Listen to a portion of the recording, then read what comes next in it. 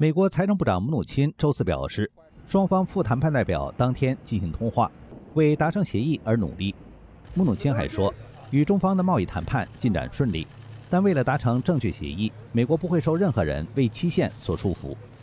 川普周四暗示，十二月十五日可能会对中方商品加税。December fifteenth, something could happen, but we are not discussing that yet.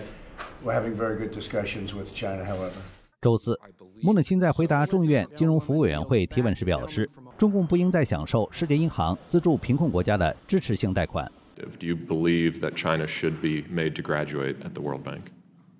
I do. 穆努钦还说，财政部就世界银行对中国贷款大幅削减进行了谈判。